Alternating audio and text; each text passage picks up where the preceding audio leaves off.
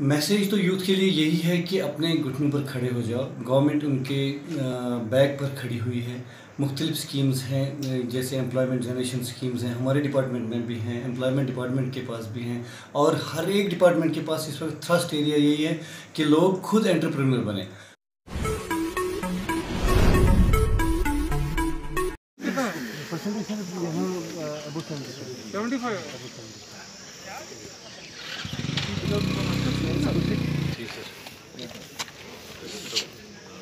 हाँ ये इशू चल रहा है एंग्री ट्रांसपोर्ट टेक्नोलॉजी भी हमने द नॉट इन अच्छा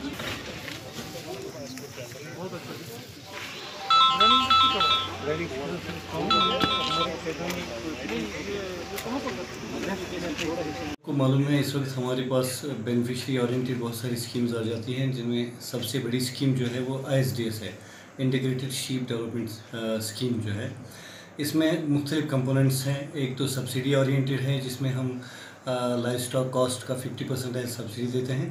जैसे 25 यूज़ के लिए हम एक लाख रुपए की सब्सिडी देते हैं। तो इसी हिसाब से मैक्सिमम एक लाख रुपए की सब्सिडी 25 यूज़ के यूनिट के लिए इसी तरह से हमारे पास 50 यूज़ का यूनिट है 75 यानी पचहत्तर का 100 का 125 150 175 और 200 का। तो 25 यूज़ के हिसाब से इनको एक एक लाख रुपए के हिसाब से सब्सिडी कैलकुलेट करके इतनी सब्सिडी मिलती है।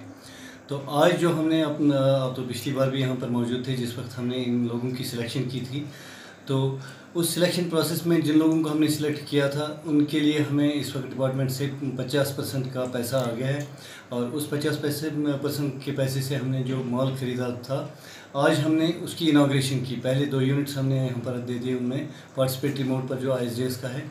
इसमें पार्टिसिपेटरी मोड में हमारा मतलब है कि तीसरे साल के बाद ये लोग हमें लाइफ स्टॉक ही वापस दे देंगे, जैसे जो जैसा लाइफ स्टॉक हमें इस वक्त उनको यहाँ से दे दिया।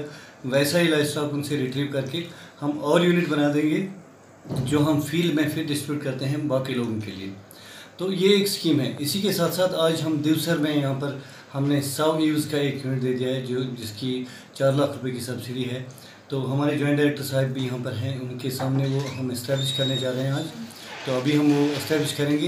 तो उसकी वेरिफिकेशन के बाद पंद्रह दिनों के बाद उनकी जो सब्सिडी कंपोनेंट जो है वो सब्सिडी कंपोनेंट थ्रू डीबीटी उनके अकाउंट में चली जाएगी। यहाँ पे डॉक्टर साहब जो बेरोज़गार नौजवान हैं तो जो यूथ है स्पेशली जो कुलगाम के नौजवान हैं अनएम्प्लॉयमेंट उनके लिए आपकी क्या मैसेज रहेगी?